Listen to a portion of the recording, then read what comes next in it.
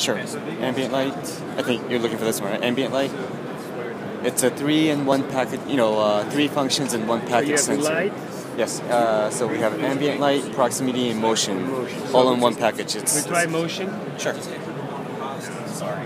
So now we're doing motion, so you can see that, You see the color. You know. and you see also the direction of my hand.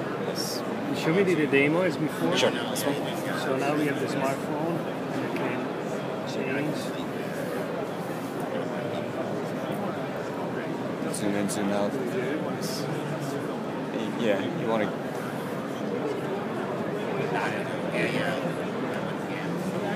I like, I like this.